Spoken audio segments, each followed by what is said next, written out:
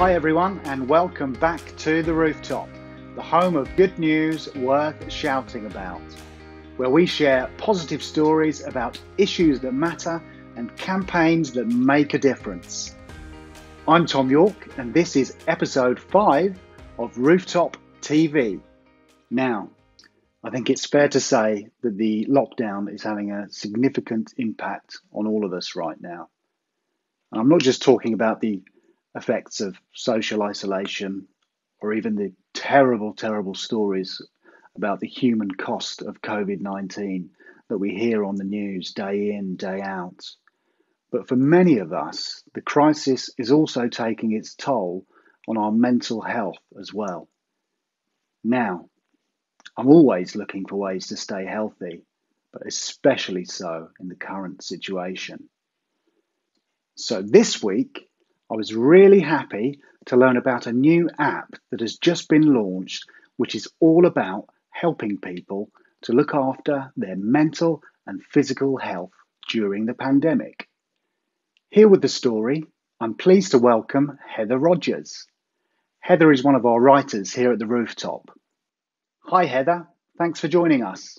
Hi, Tom. Thank you for having me on. As you say, one of the worrying side effects of the lockdown has been the impact on people's mental health. And I think we're all more conscious of our mental well-being right now than perhaps ever before. The Office for National Statistics released new figures last week that found that people are actually more affected and more concerned about stress and anxiety than they are about their general health. And meanwhile, a separate study from the London School for Economics has found that mental well-being is actually at an all-time low. In response to this, happily, a couple in Germany have come up with a new app to help boost people's mental well-being. It's called Well You in Hard Times. It's totally free to download from the App Store and it contains a wealth of information, tips, tricks, and inspiration to help people boost their mental well-being. It contains recommendations from health experts on how to boost your mental, physical, and social well-being. Exercises for mind and body, so things such as positive self-reflection, ideas for boosting your immune system, and also positive inspiration and ways to keep in touch with family members at this difficult time. As I said, it's totally free to download from the App Store. And as always, you can find out more information by visiting our website, rooftop.com news.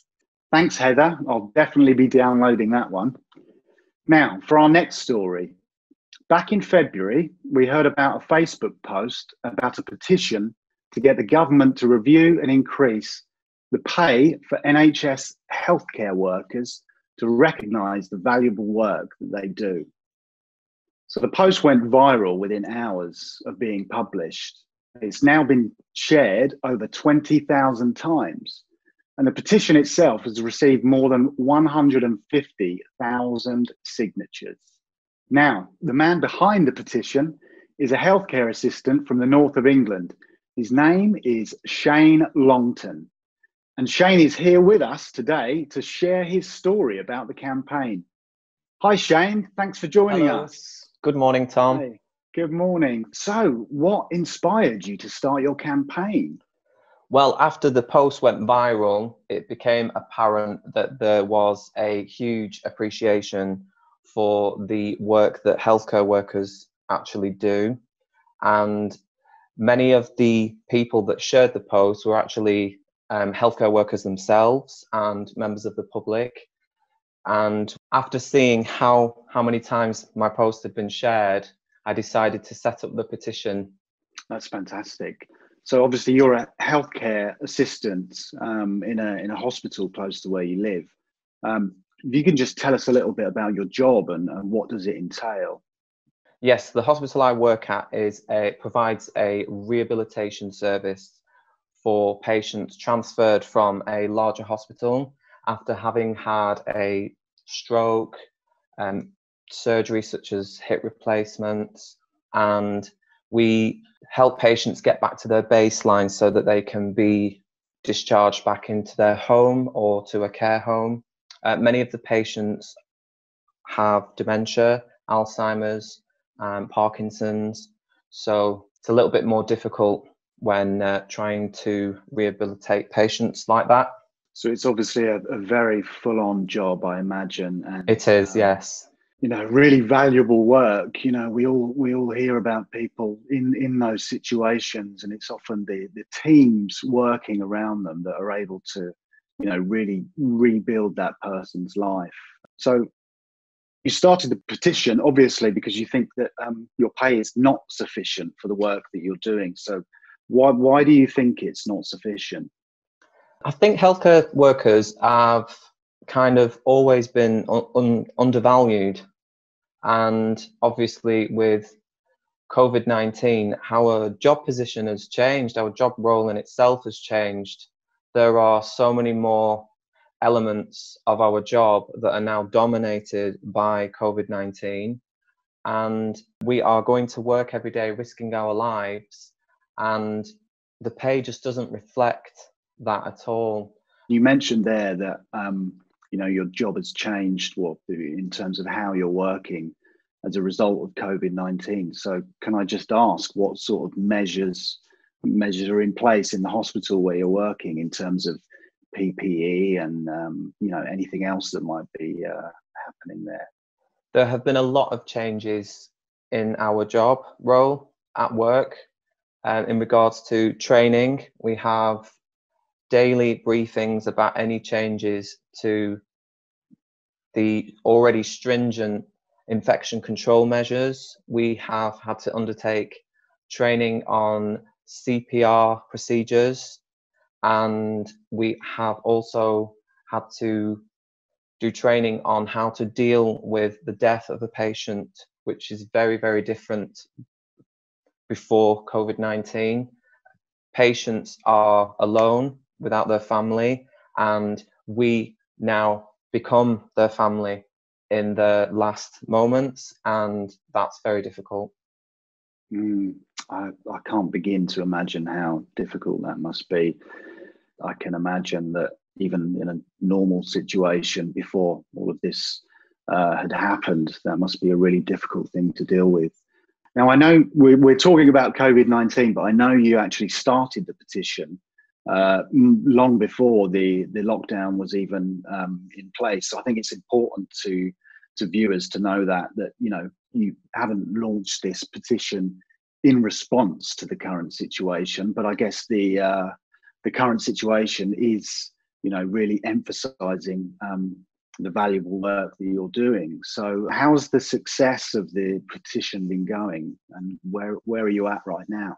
It's been insane how much support I have had for my petition, and I've had um, a lot of press coverage and people sharing my petition link on Facebook, Twitter, and I just think that has been a huge, huge help towards that.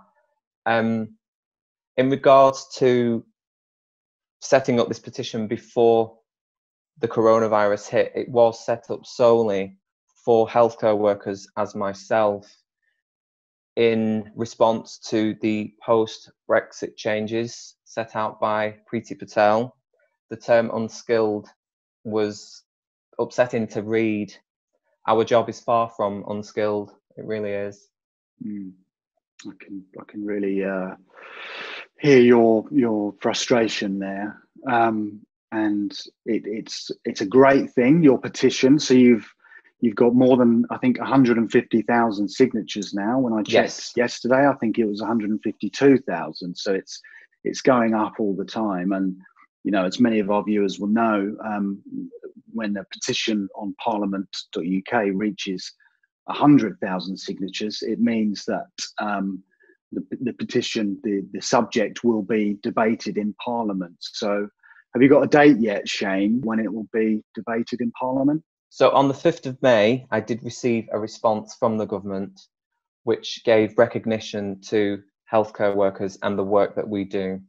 They went on to mention the pre planned pay rise, which was secured by the union. But this was pre planned and doesn't take into consideration the changes to our job role going to work every day, risking your life every day. So mm. I do think they need to consider consider that matter. Well, we we really look forward to you know watching this campaign, and obviously it's been very successful so far. Um, what do you see happening next? I'm hoping to get more signatures, even though I have secured that 100,000 benchmark for the potential for a debate. I'm hoping that I can get more backing from MPs, maybe the unions. I might come across as a one man band, but I feel I have the UK behind me. So who knows?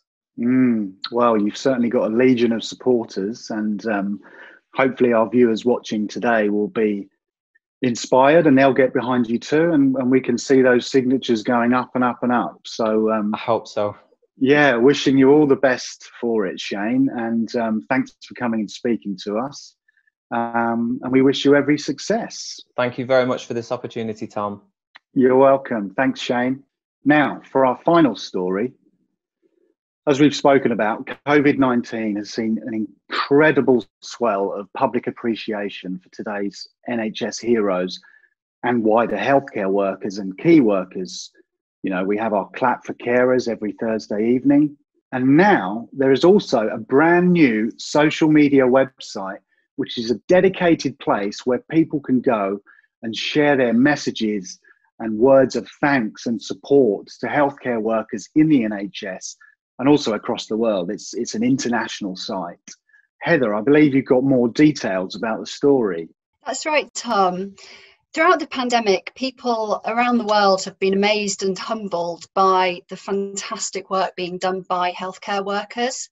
One organisation has created a new website called Thank You Healthcare, where they are trying to collate all of this information and all of these wonderful messages of support into one place.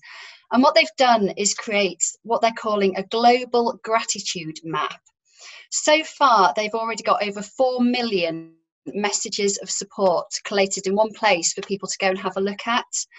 It's totally interactive. You can go on there, look at where there are current gratitude hotspots, and also add your own messages of support. So, if you want to go on, say something positive or uplifting about the key workers in your area, or the hospitals, or clinics, or care homes, then it's a really great place to, to do that it's also a great place for healthcare workers themselves to visit to find out just how valued and loved and respected they are the world over and just see some of those lovely messages that are, that are coming in and hopefully give them a boost during what must be, as we've been hearing from Shane, an incredibly difficult time.